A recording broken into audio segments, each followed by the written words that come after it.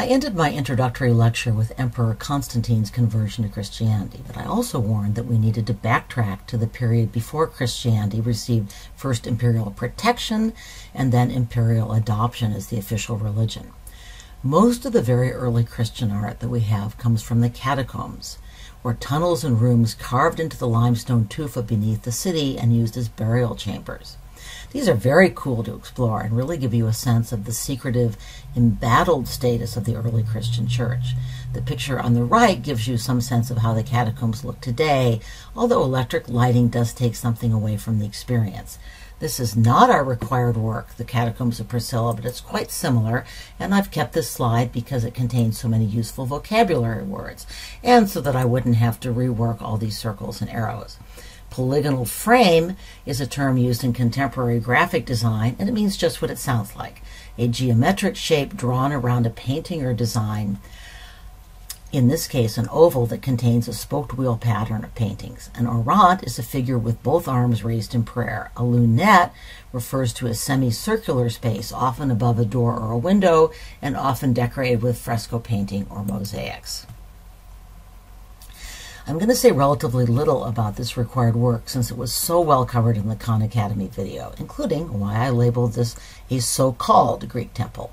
Let me repeat a point I have made before, but that's especially important for this unit. You are going to be looking at a few works, specifically a few famous churches, in depth, and we're going to rely heavily on the homework to cover other works. If you skip the homework and the College Board decides to focus on one of these images, you could find yourself seriously messed up. Note that what looks like architectural features along the walls are actually just a painted surface. And where have we seen this before? This is first style Roman painting, and we saw it in Pompeii.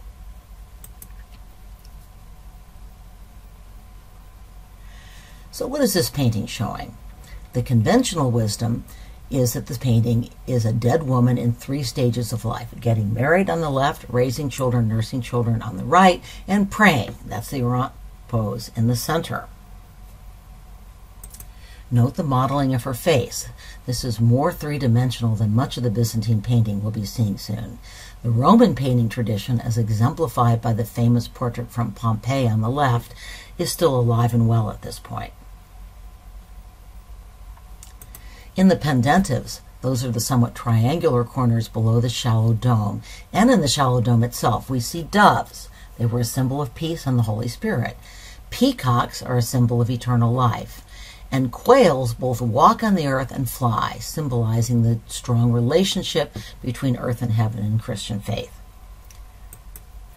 The College Board has never really explained why it chose this work, which is not as well known as many other catacombs or as well documented.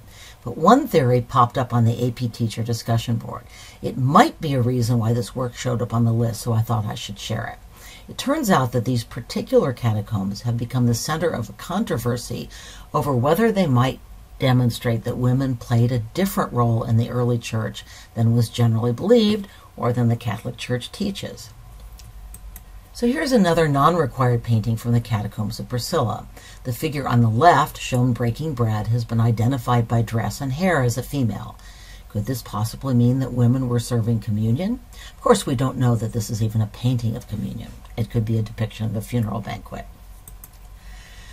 This image has also led some people to suggest that the central praying woman or orant is actually a priest. Since the other paintings in the set show her as a bride and as a mother, this strikes me as a little far-fetched. Vatican archaeologists have responded that the painting, like many in the catacombs, shows a deceased person praying as she enters paradise. The hands raised in prayer are common features of catacomb art. Still, it's not hard to see how the orant might be thought to resemble a priest. At any rate, I want you to be aware of this debate just in case. If you'd like to know more, I've posted a BBC article about this controversy in the enrichment page for Unit 6 on Canvas. And yes, I find the required work frustratingly blurry too, but you should be able to see that Christ is portrayed as the Good Shepherd, one of the most common themes in early Christian art. The early images of Christ also mostly show him as a beardless young man, and they also often show him teaching his disciples, much as Socrates and other classical era teachers discussed philosophy in the agora or forum.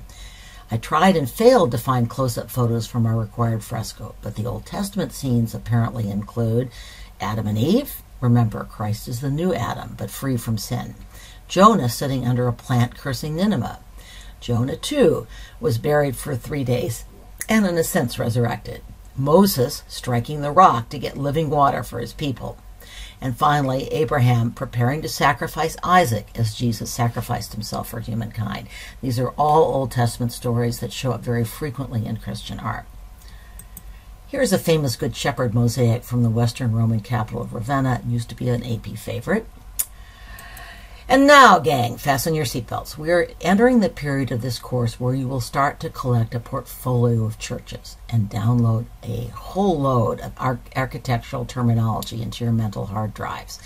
Let's get started by reviewing the basic Roman basilica, which was the basis for many of the imposing churches built in the reign of Constantine and his immediate successors. You've seen this slide before. What is it? This is a reconstruction of the Basilica Ulpia from Trajan's Forum, which is not a church, of course, but a public administration building. So, why did the now imperial approved Christian church adopt a Roman administrative basilica plan? Well, they needed a space that would hold a lot of people. They also wanted to convey the imperial approval for this new religion. Using a famous imperial style helped send that message. And finally, they needed a longitudinal plan leading to an altar the basilica's long nave and apse served well.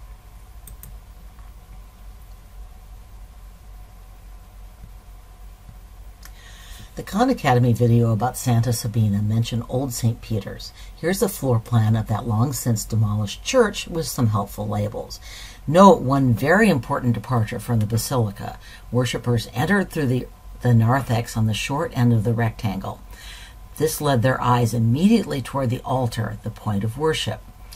Another innovation was a transept, or hall perpendicular to the main hall or nave.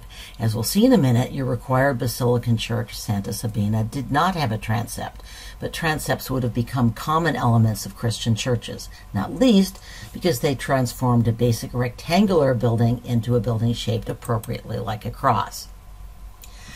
This is a required work, and I hope and trust you watched the excellent Khan Academy video on this church because I'm going to go fast.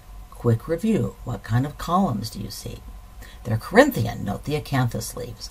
These were taken from older Roman buildings. The term for that architectural recycling is spolia. And where have we seen spolia before? Remember the Greek, excuse me, the Roman columns in the Mosque of Cordoba. So what basilican features do you see? There's a high, flat roof, side aisles with a lower roof. You can see them sticking out in the photo of the exterior, and a rounded apse at one end. Early basilican churches also tended to have timber roofs. So here is Santa Sabina's floor plan, another required image.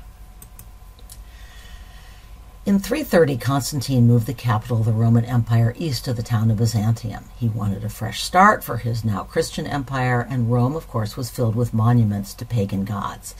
But the move also reflected geopolitical realities.